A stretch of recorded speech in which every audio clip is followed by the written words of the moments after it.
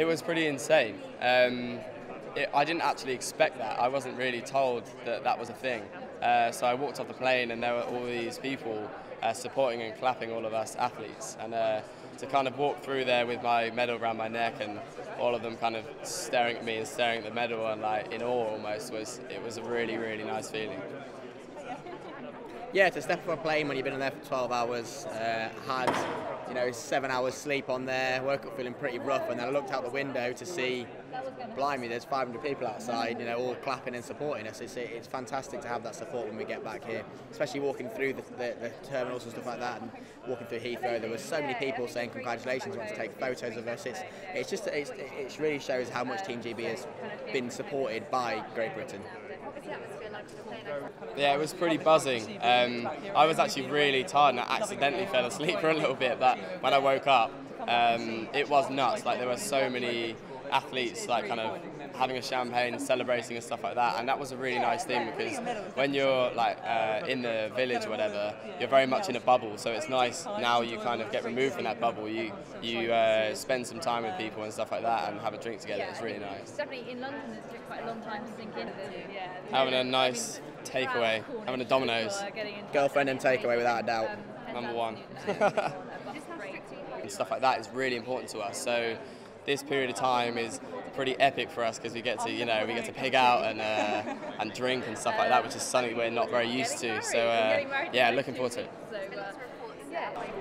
Yeah, while we were competing, we both made a pact that we wouldn't uh, have any McDonald's uh, until we were finished. But obviously, who can resist free McDonald's when I'm finished? So uh, there was very many times when we would go in and order 100 nuggets.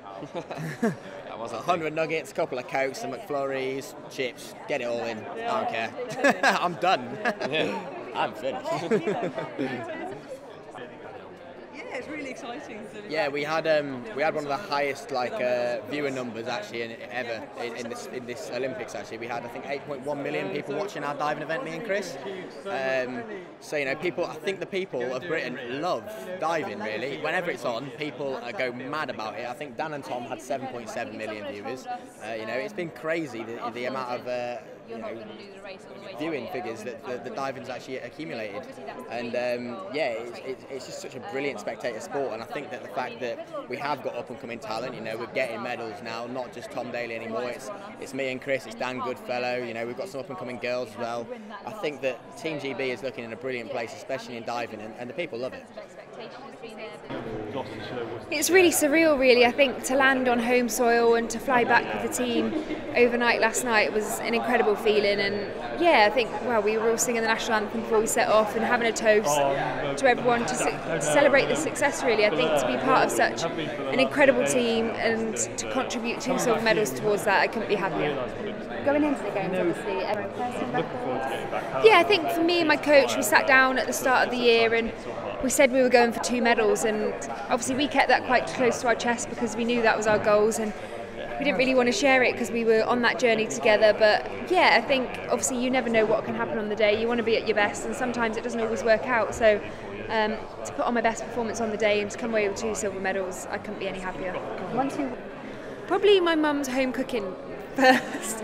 I mean, I should probably be treating her to some food first, taking her out for a meal after all the stress that I put her through when she's watching me race. But yeah, I'm just looking forward to being with my family and spending some quality time together and um, putting my feet up. Really, I'm quite tired. I suppose those medals are quite heavy as well.